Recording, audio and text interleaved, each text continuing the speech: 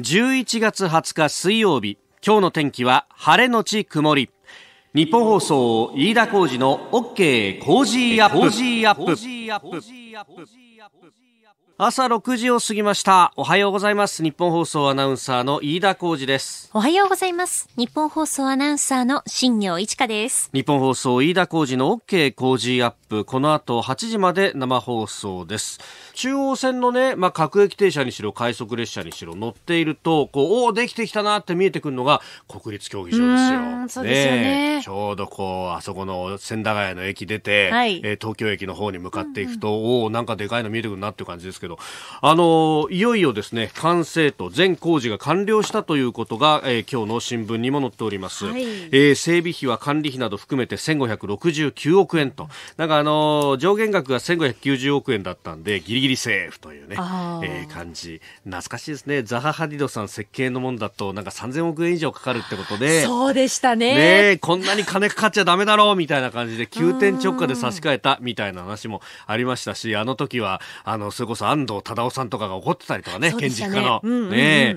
私も安藤さんのところにインタビュー行って、いやこれはやった方がよかったのにみたいなことを熱弁振るわれた記憶がありますけれどもね。えー、あのー、ホープ県のね、おじさんなんかにインタビューしたこともあります。ありましたね。今年の8月ですが、はい、あの、ホープ県ってね、えー、昔から千駄ヶ谷のあそこの、あのー、今工事で使ってないですけど、明治公園っていうね、公園の目の前にある、えー、ラーメン屋さんですけど、いや毎日見てるとさ、なんか違いってよくわかんないんだけど、たまにそうやってマスコミの人とか来て、変わりましたねって言われるんだよねなんてね。毎日見てる人ってなかなかこの違いがわかんないっていうのが。まあ、ちょっとずつこう出来上がっていくものですからね。そうそうそう。たまたまこの水曜の番組スタッフに一人錦糸町に住んでる人がいましてね。あ,、はい、あの、やっぱスカイツリーの時も同じような感じだったっていうね。やっぱ日常だっていうふうに見るんだけど、こう、あ長回しのさ、定点カメラの中で見ると、おお、確かにニョキニョキ上がってったな、みたいなね。うんうん、えー、えー、いよいよ完成ということで、えー、今後ですけれども、あの、12月21日に、まあ、こけら落としのお披露目イベント、はい、まあ、これには人気グループ、嵐とドリームズカムトゥルーが、えー、出演と、さらにウサイン・ボルトと。ねまあ、非常に楽しみです。その辺もね、また、あの、取材するタイミングがあれば、はい、えー、いろいろとお伝えしていければと思っております。さあ最新ニュースをピックアップいたします。スタジオ長官各紙入ってきましたが香港情勢について書いているのが西、えー、毎日と産経というですねまあ政治的なスタンスで言うとかなりいいね、違うという西があ香港について一面トップで報じております、えー、毎日新聞はあ中覆面禁止法について中国が、えー、違憲判断を否定香港へ事実上介入というかなり強い見出しをつけてますね。これ一国二制度の空洞化ということになるのかと。いうところであります。まあ、あの、覆面禁止法のこの違憲の判断については昨日もこのゾーンで、お話ししたあと思いますが、えー、これについて、まあ、その、香港基本法と呼ばれる憲法と呼ばれるものの最終的な解釈権は、えー、全人代の常務委員会というところが、まあ、握ると。まあ、要するに中国の北京政府が握ると。いう形なので、その北京政府が、あまあ、まずは、えー、この違憲判断を、まあ、否定と、えー、様々な機関から、えー、談話が発表されていて、で、いよいよこの解釈権を行使するということになると、えー、完全に国二制度の空洞化ということになってしまいます。で、その香港ですが、あ香港理工大学で、えー、学生があまだ中に残されているというところ、香港学生ら1100人排除というのが産経新聞の一面であります。まあ、日本の大学生が逮捕されたというような話が出ておりますけれども、えー、どうやら、あデモをこう見に行ったと、観光のついでというような感じなのかな、ちょっと詳細はまだわからないんですが、見に行ったんですけど、その時に身分証がなかったと、いうことになります。これ、あの、日本のパスポートを持っって出かけていればまた違った展開になった可能性は高いと。さすがに外国人をその場で問答無用で逮捕ということはなかなか香港の警察もできづらいということもあります。あの旅行に行くときに口酸っぱくして言われますけれどもパスポートは持って行った方がいいと、まあ、スリとかがこうね、えー、危険だというようなこともあってで、えー、ホテルの金庫に置いていくというような方もいるんですが、まあそういった場合には、えー、旅券を保持していないと必要な保護が受けられないということにもなりかねないということがありますんで、ええー、ぜひそこは気をつけていただければというふうに思います。で、この香港では催涙弾がものすごい数使われているんですが、最初のうちはですね、えー、まあ、あの、西側諸国の作った催涙弾が使われていたんですけれども、最近は中国製のものが相当たくさん使われているということです。で、それが相当発熱をして、で、かつ、えー、毒性が非常に強いんじゃないかという疑いが、まあ、地元メディアからはこう報じられていて、それこそ数日前に催涙弾が使われたような場所を子どもたちが歩いただけで全身に発疹ができるとかですね。これ、だから、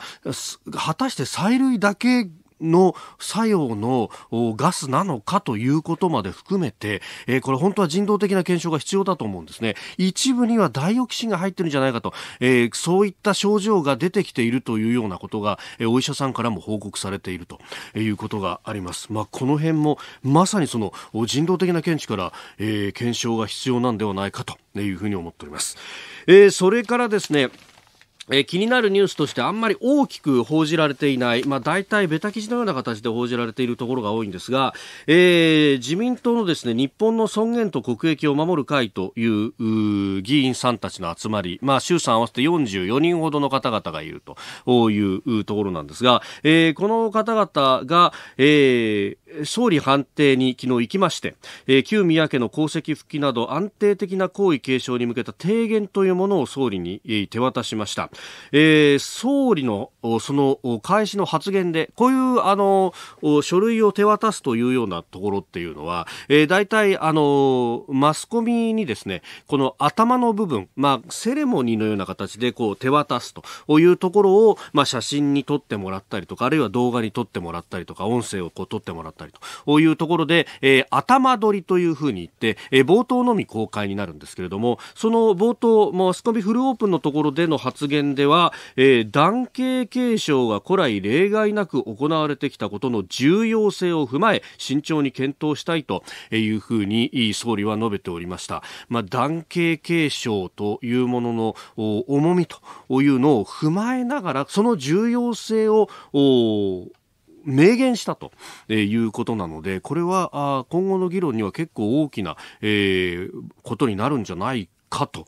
いうふうにも思います。で、さらに、まあ、あの、同席者の方々が、まあ、その後出てきて、総理こんなこと言ってたよっていうのを、まあ、発言したところを聞くと、えー、女性天皇と女系天皇の違いについて、えー、国民的な理解が十分進んでいないという指摘もあったということです。まあ、あの、女性天皇と女系天皇を、まあ、ごちゃごちゃにして、えー、女性差別に当たるんだみたいなことをこう言っている一部メディアもありますけれども、えー、女系と女性は全く違うということ。まあ、あの、卑近な例ですけれども、サザエさんに例えれば、えー、男系の女性に当たるのがサザエさん。サザエさんは、えー、もともと、磯野家の人ですからね。磯野の血が入っていると。で、このまま磯野の名字が変わらなければ男系で継承していくということになるんですが、えー、ふぐたたらちゃん、たらおちゃんが、えー、仮に天皇陛下になるということになると、これは磯野家からふぐた家へ、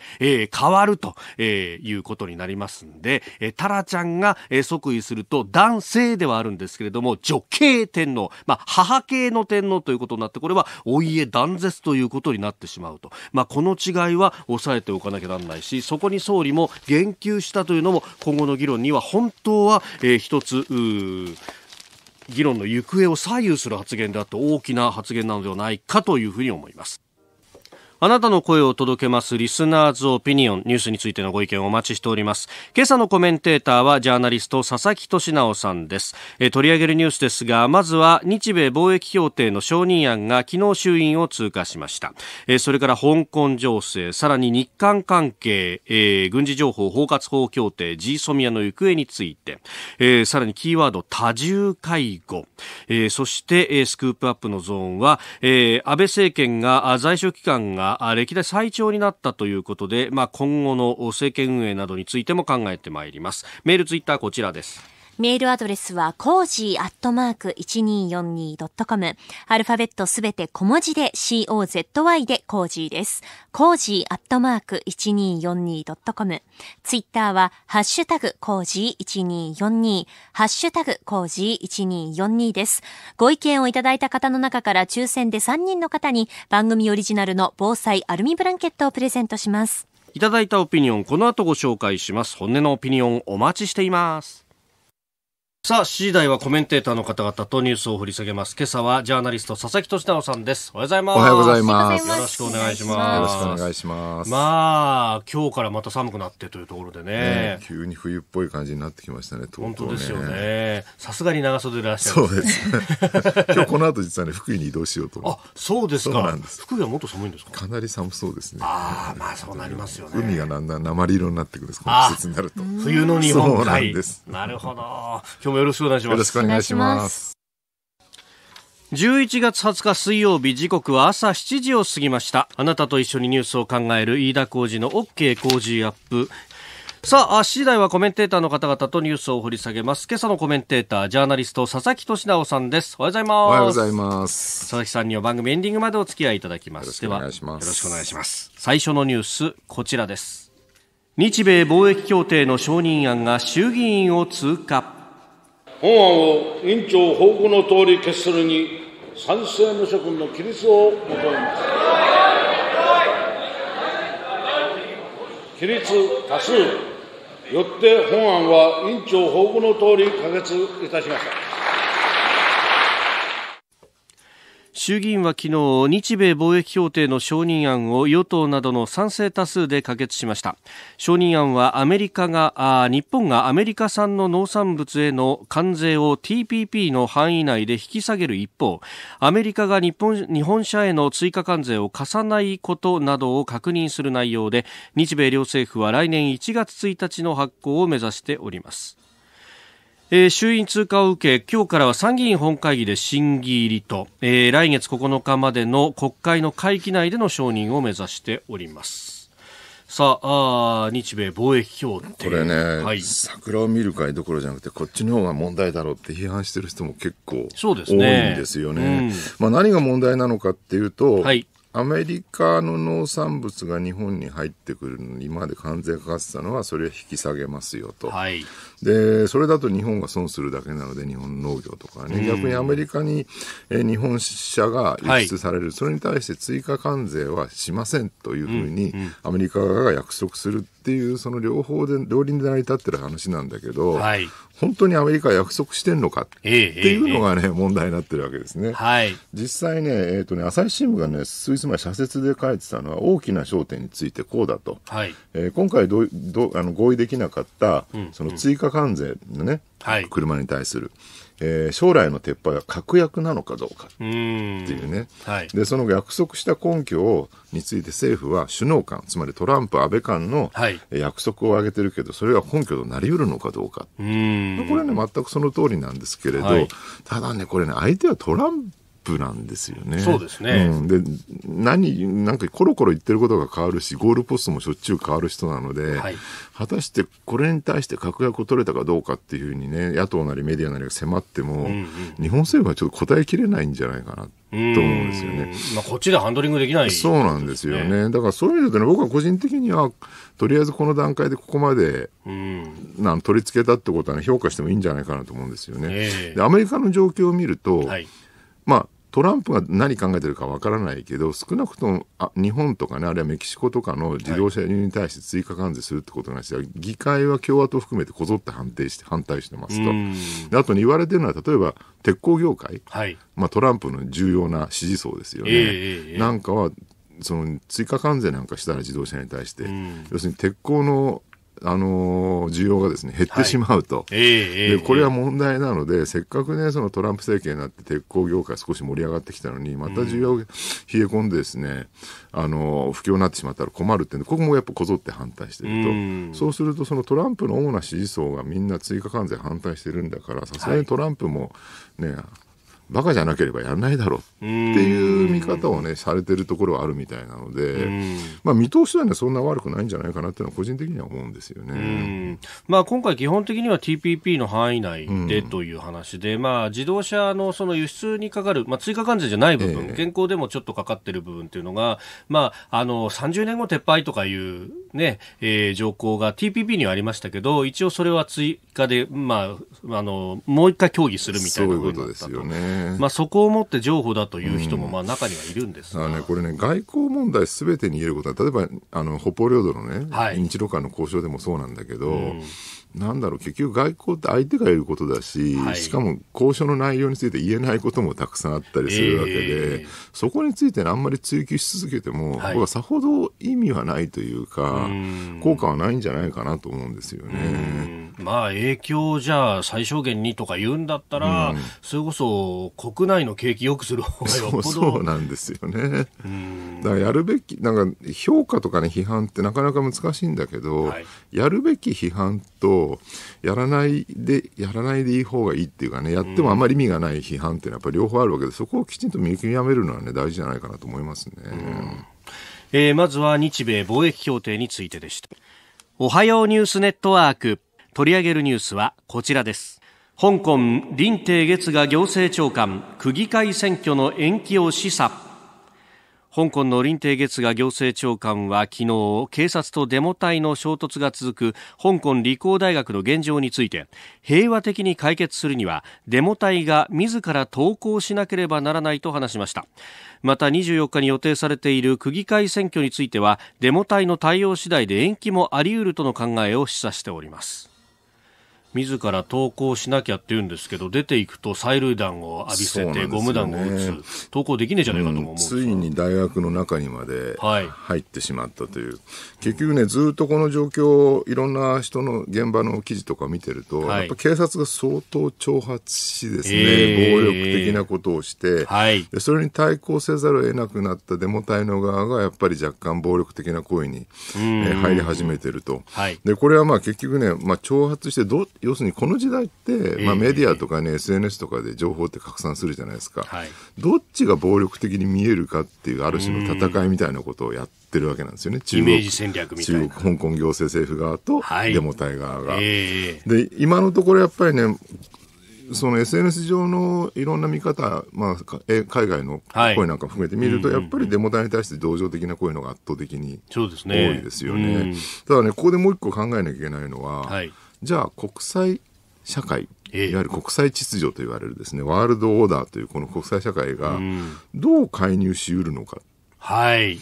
現状誰も介入してないですよね。そうですね。中国の内政問題に関しては、ウイグルとかね、チベットの問題もそうだけど、誰も介入しないという。で、これなんで介入できないのかっていうと、えまあ圧倒的に中国経済が強いからだっていう、ここに行き着くわけなんですよ。例えば普通だったらねまあ、アメリカはトランプ政権になっちゃったんで微妙なところあるんですけど、えー、例えば EU のね、はい、そのメルケルなりね、マクロンなりね、フランス、ドイツとか、まあ、イギリスとか、そういういわゆるかつてのリベラルな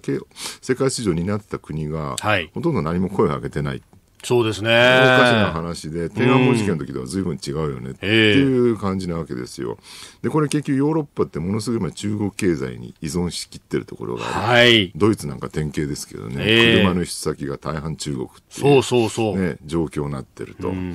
で、これはね、だからね、かつてほら、今、新冷戦とかよく言われてますけど、中国とアメリカの間で、はい、かつての冷戦時代の、そのソ連対アメリカのね、構図とは全然違う。うん、なぜかというと、ソ連は、まあ、50年代ぐらいまではね、ともかく、その以降ずっと経済状態、脆弱で、もういつ転んでもおかしくないところに追い込まれてきたわけですよね。はい、そうするとアメリカの当時の戦略っていうのは、まあ、ほっといても自滅すると、ソ連は。だからその自滅をね、こう、あの、押してけば、えー、後ろから押していけばね、勝手に、あの、僕、なくなっていくから大丈夫だろうって、はい、まあそういう発想だったわけですよ。でも今の新冷戦化になっているこの中国の状況っていうのは、はい、ほっといても消えてなくならない。圧倒的な強い経済力。しかも仮に、えー、経済とか世界史上分断されて中国とそれ以外になってしまっても中国14億いますから、はい、国内市場だけでも十分成立してしまう経済力を持ってるっていうね。でこういう強大な経済力しかももうすぐアメリカを抜くとかね GDP で言われてますけど、えー、そういう国に対してどうやって世界国際秩序国際社会が向き合っていくのかっていうのはね、はい、めちゃくちゃ難しい問題だよねっていう。まあ、価値観がまるで違うというところで、でね、本来であればまさにそのヨーロッパとかっていうのは価値観を大事にして基本的人権であるとか、法の支配であるとか、これ、あの商売のためだったら、じゃあそういう原則も捨てちゃうのかって話ですね、ね、普遍的なリベラリズムとか言ってたのにって話なんですよね。えー、ただね、そうは言っても、この SNS 上での戦争みたいなものですね、はい、要するに、えどっちがイメージとしていいのか悪いのかっていうところで考えると中国政府は完全に負けつつあるしでこの香港の問題が例えばウイグルに関してもねつい先日ニューヨーク・タイムズが、はい、中国政府の内部文書らしい400ページもある文書、はい、これをまあ中国政府の関係者から入手して、ドカーンとスクープを打ってですね、うん、一切容赦せず弾圧よそうなんですっていうふうにね、習近平が言ったっていう。で、こういうことによって、徐々に徐々にやっぱり中国やばいよねってイメージが積み重なっていくと。はい、で、これ中国はね、やっぱりすごいこう、気にしてんですよね。対外的にどう見られるかっていう。はい、で例えばほら、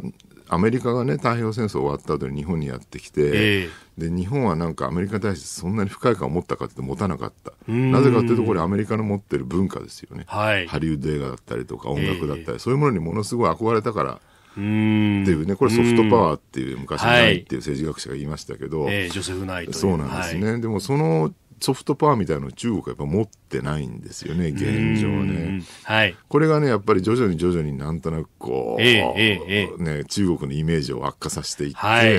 ボディーブローに効いてるっていうことも言えるかなと思うんですよね。側としては、例えばその、莫大なお金をかけて映画を撮るとか、そういうことはできるかもしれないですけど、そこでこう、表出されるこう、文化的なイメージとか、そういうこう、豊かさであったりとかっていうものが、かけていると。そうなんです。中国にじゃあ移住したくなるかとかね、うん、はい。あんまり思わないわけですよね。我々どっちかといえば移住しに行ったら逮捕されそうだぐらいなそうですね。イメージになっちゃってるでしょ？この前もほら北海道大学の教授、ね、はい。逮捕されてまあ釈放されましたけども。いまだに日本人は10人近く拘束されているという形ですね。だからやっぱりそういう強権的なイメージがなくならない限り、はい、長い目で見るとやっぱりアメリカがかつて持ってたようなね、力を持ち得ないし、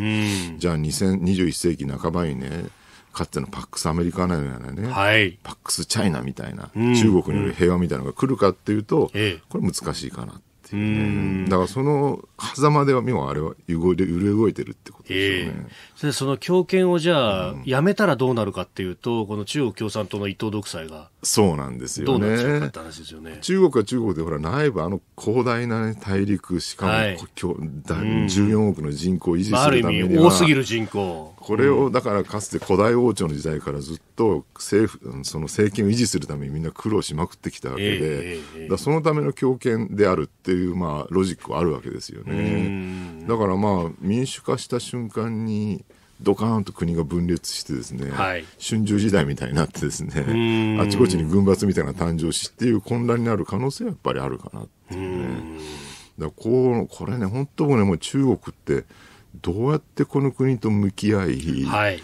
どあの対処していくのかっていうのはねなんかすごい21世紀における最大の課題になりつつあるかなって感じはしますよね。それを最も近くで直面している民主主義国家っていうと日本ですね。ね、本当にそうです。さあそして2つ目こちらのニュースです。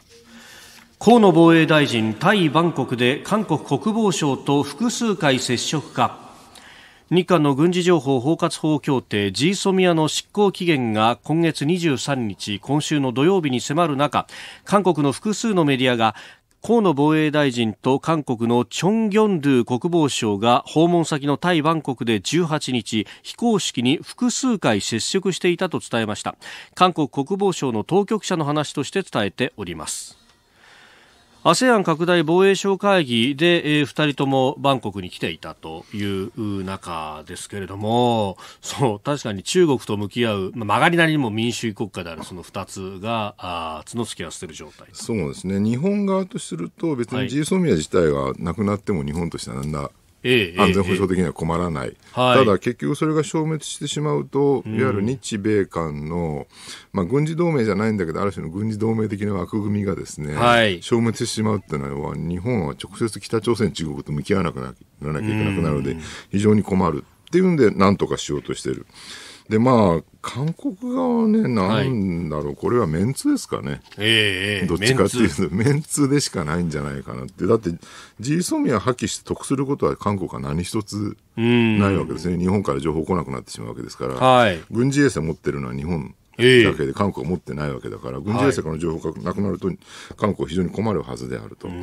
らまあ、ムン・ジェイン大統領は結局その例の輸出管理のね、はい、フッ素のね、問題を、えー、撤回すればですね、輸出管理強化自体を応じるって言ってるんだけど、はい、日本側としてはその輸出管理強化をですね、撤廃するロジックは何も存在しないので、ええまあそうですよね、安全保障上の懸念があるということなので、うん、そう変えてくんなきゃねって話、ね、そうなんですよね。だからもちろん g ソミはなくしたくない、うん、えー、日米間の軍事的な枠組みは残したい、はい、えー、でも輸出管理強化は、うん、えー、なくす理由はないっていうロジックの中で、まあ日本としても動きようがない。うん、で韓国もメンツがあってこれでは、はい、ね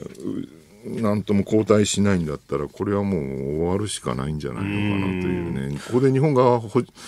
だから日本としてはロジックがあれば、はい、多分対応できると思うんだけど、ロジックないところに対応しようがないですよね。これだから日本がメンツの問題じゃないんですよ、ね、ないですよね、うん、結局だからある意味ロジックを重視する日本と、まあ向こうはメンツとか感情とかそういったものが、なんか論理を超越してしまうような。まあ儒教国家ですから。です ね。いや、そうすると、まあこのまま正面衝突に行くのか。あ、ね、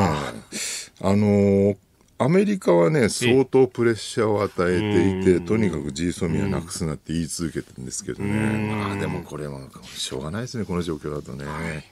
以上、おはようニュースネットワークでした。続いて、教えてニュースキーワードです。多重介護。今月17日福井県敦賀市の住宅で90代の夫婦と長男3人の遺体が見つかった事件で長男の妻岸本雅子容疑者が殺人の容疑で逮捕されました。容疑者は2年ほど前から1人で3人の介護をしていたとされ警察は介護疲れが事件の一因になった可能性もあるとみて捜査を進めています。えー、多重介護というのは高齢者や障害がある方など複数の人を同時に介護すると、まあ、多いケースでは1人で2人以上介護するケース、今回は3人。いや、ね、しかも仕事しながらと。お父さんお母さんが93歳と95歳。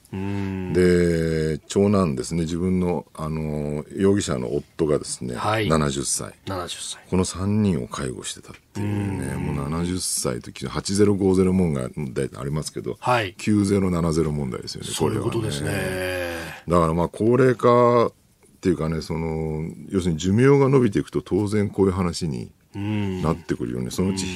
100歳を80歳が介護とかね。いや、そうですよね。普通に出てくると思うんですよね。よねで、まだね、これでも子供がいるから、介護をするって話になるんだけど、だんだんこん今子供もいなくなって結婚しない人がどんどん増えてるっていうね。そうですね。2040年、だから今から20年ちょっと後には、はい、男性の3割、女性の2割はまあ、生涯っていうか、まあ、50歳まで未婚って言われてるんですよね。50歳まで未婚ってのは大体まあ生涯未婚とほぼ同じ意味だって言われてるんですけど、えー、そうなると子供がいる家自体がどんどん減って、今だってもう、ね、かつてほら標準世帯って言われるはい。あの、夫婦、子供二人。専業主婦と会社員の夫と子供二人が、えっと、今1割ぐらいしかいないのかな。えー、実際に一番多いのは4割ぐらい占めてるのは単身世帯ってことなんですよね。は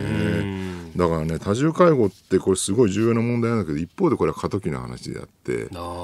その先でもっと多様化していく恐ろしい介護の時代っていうのがやってくるんじゃないかなもうこの先はだから担い手をどうするっていう。そうなんですよ、ね、家族の中で完結っていうのが、まあ物理的に難しくなるという話。今のね、だから、僕ら50代で、親が80代とか、ね、このぐらいの世代ってね、80代って、まあ、昭和一桁とか、あなるほど。前生まれぐらいなんですけど、はい、割にね、例えば兄弟が多かったりするので、親戚がたくさんいたりとか、えー、あと、総じて高度経済成長時代にサラリーマンとか、その妻をやってたので、みんなね、貯蓄が割に、ちゃんとあり、年金も満額もらってて、退職金もそこそこいい金額もらってるんで、割に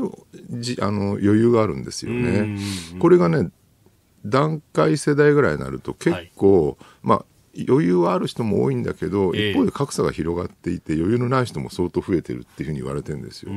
だから今の8050は、まだそんなに大変じゃない、大変だと思うんですけど、はい、当事者はもちろん大変だと金銭的にはまだまだ余裕があると。で、これがだんだん今段階世代が70代半ばぐらいになってきて、ね、そろそろもう介護が非常に必要な時期になってる、はい、でその息子世代子供世代が段階ジュニアですよね。70年代生まれ。これがまたね就職氷河期で。いやまさにそうですよね。就職氷河期とほぼほぼイコールですよね。そうなんです。非正規雇用が非常に多いって。そうするとこれからの8050問題っていうのは、はい格差が広がってる段階世代の親を、非正規はすごく多いですね、はい、段階ジュニア世代が追わなきゃいけないっていうねこれまたきついですよね。そうですよね。どうなるんだろう、ね、でその上、まあ、段階世代は本当人口でいうとかなりのボリュームゾーンと呼ばれてそうなんですよね。あらゆる面で財政を手当てしないといけないけれどもという。今だって今の生まれてくる子供って年間80万人ぐらいですかね、はい、段階世代って200万人ぐらいいるんですよね、ものすごいボリュームゾーンなんで、ええ、一学年だけでそうなんですよね、ね、ただあの世代が退場していくだからあと20年ぐらいすると徐々に退場していくんですけどそうなるとね、はい、一気にね高齢者はああ、今度はそうか人口全体が減るような。うん、ただそれ以前のその段階世代がすごく年取った時代っていうのは東京の都市部が高齢者だらけになるってやつですよ。今ほら東京まで若い人たくさんいて、はい、地方に行くとおじいさんばかりだよねみたいなことみんな言ってるんだけど地方はね逆に今後その高齢者いわゆる昭和一桁ぐらいですね、80代、90代いなくなってくると、はい、一気に高齢化終わるんですよ、で一方で都市部、はい、東京、大阪、こういうところの、ね、高齢化が一気に進んでくる、だから2040年頃がね、はい、相当大変なんじゃないかなと思うんですよね、まあ、もう自分自身も、ね、高齢者になってるんです、その頃は。あいや僕なんかもそうですね、ね。20年後っていうともう、もう差し掛かるぐらい。そうするとその頃周りが高齢者だらけで介護も間に合わず、はい、老人ホームも足らず、えー、でもかといってあんまり老人ホーム増やしてもその後ガクンと高齢者が減るんだからあの待機児童問題と同じでそんなにねその施設は増やせないよねみたいな話になってきて、結構僕阿鼻共感なんじゃないかなっていうね。えー、今日のキーワード多重介護でした。さあ、メール、ツイッター様々いただいておりますが、こちら、あ船橋市ラジオネーム、カズボーさん49歳、トラックドライバーの方。えー、このまま G ソミア日韓の軍事情報包括法協定が破棄された場合、破棄した翌日までに、えー、北朝鮮はミサイルを発射するんじゃないでしょうか。それも韓国が情報を収集しづらいミサイルを発射すると思います。で、その時アメリカは意図的に韓国に情報をかなり遅らせてから渡すとかするんじゃないですかね、と、おいただきました。まあそういう予測は成立しうるかもしれないですね。うん。まあ、そうですよね、これがこの破棄ってものがどこが一番北総へ向かっていうと確かにこのご指摘の北朝鮮はその一つ。中国、北朝鮮を利することにしかならないっていうのはね、えー、アメリカ政府もさんさん言ってますよね。よね。あの統合参謀本部議長も履歴行為だとまで。そうなんですよね。かといってでもこれを押しとどめるためにアメリカが日本に対して輸出管理強化をやめろというロジックも成立しないので。まあそうですよね。そうそう、それをやら、輸出管理強化の問題を除いてアメリカがどうやって韓国にね、その日米韓の枠組みの中に戻すかって、これなかなかないんで、方法がねっていう。続いてはここだけニューススクープアップです。この時間最後のニュースをスクープアップ安倍総理、憲政史上最長の在職期間、今日通算2887日。安倍総理大臣の在職期間が今日通算で2887日となり、憲政史上最長となりました。自民党総裁としての任期は2021年の9月までありまして、任期いっぱいまで総理を務めれば、在任期間が3500日を超えるということになります。昨日19日に通算の日数が2886日になったと。で、えー、桂太郎氏、これまでの憲政史上最長だった人に並んだということだったんですが、えー、今日20日で単独トップになったということであります。まあ、今後のこうね、えー、政権運営どういった課題と、ね、ここまででも長く続くとは誰も想像してなかったでしょうね。まあ、そうですよね。うん、ただ、なんだろうな、ツイッターとか見ててもあるいはまあメディアとか見てても、はい、なんか左派の人と右派の人で見えてる世界が全く違う。はい、左派の人たちの言い分を見ると、こんなね、史上最悪のファシズム政権みたいな感じで、えー、なんでこれが支持されてるのか全く信じられないみたいな感じだし、右派の方から見ると、いやいや、当然でしょ、こんな素晴らしい政権がみたいなね、感じで、ただなんか、こんだけ分断が進んでる中でね、はい、どうやってこの安倍政権っていうのを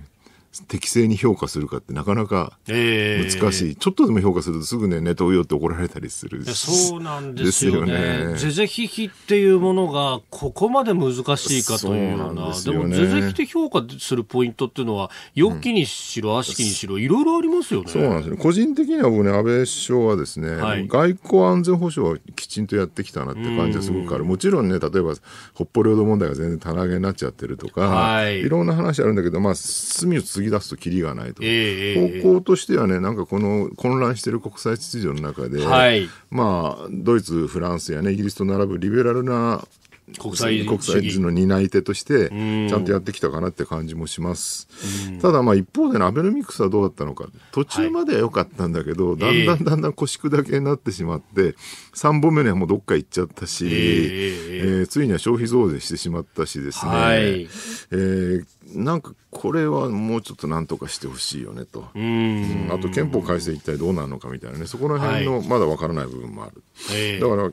まあ、経済はちょっと道半ばで途中、うん、中途半端かなっていう感じですよね。まあ、最初のアベノミクスのいわゆる3本の矢、まあ、特に財政出動と、そして金融緩和でこう盛り上げていくというところは、消費増税1回目の前まではうまくいってたはずなんですけどね。そうなんですよね。あんなことしなければ、もしくは今回の増税とかしなければ、はい、うまくいってた可能性がある。でね、結局、安倍首相がもし今後退陣するなり、まあ、3期を終えて終わるなりして次誰が担うかって話なんだけど、はい、反緊縮の人が本当に少ない。そうですね。与党野党含めてね、えー、もうねもう20世紀終わってもう20年経つんですよ。はい。21世紀も。あと残り80年しかない。だからもういい加減なんか前世紀の右と左とかね、保守と革新とか、リベラルと保守とかいろいろ言ってましたあれもうあんまり有効性ないんじゃないかなと思ってて、今現状やっぱり一番重要なのも、最近ほら左右じゃなくて上下だみたいなね。格差がどんどん広がっていく。まあトマ・ピケティが言うようにね、低成長時代になるとどんどんその資本収益が高くなって、労働によるるあの収入が減っていくっていうね、構造が。だその上下の格差をどう埋めるか。で、そうするとやっぱり緊縮するのか、はい、財政出動するのかっていうのは結構重要なその対立軸になっていくかなと思うんだけど、この対立軸がね、今のところ日本であんまり有効にそうですよね。左右してない。不思議ですよね。経済学者の中では特にリフレ派の人なんかを中心にかなり反緊縮、はい、財政出動って言ってる人がいるんだけど。それはもう左右の政治スタンスとは関係なくですよね。そうなんです。これがね、うん、政治家になると、はいあんまりいない。山本太郎しかいないそうですね。山本太郎もでもちょっとね原発の問題とかいろいろ考えると、えええ、にわかに信用しがたいっていうのがあってですね。まあで同じことがこう、うん、メディアにも言えるところがあって、うん、その右左のスタンスはあるんだけど経済面に関してはみんな緊縮派に近いというね、ね、これね結局ね僕ね政治主導の問題も絡んでて、要するにメディアってね官僚から情報リークされて、はい、レックされて書く報道するってすごく多くだからね、うん、意外にねなんだろう一般読者にあまり気づかれてないんだけど、はい、結構霞が関にリードされちゃってる部分があるんですよね。だから、緊縮の問題に関しては財務省の影響相当大きいんじゃないかなと思うんです、まあ、高橋内さんがよくね批判してますけど、だから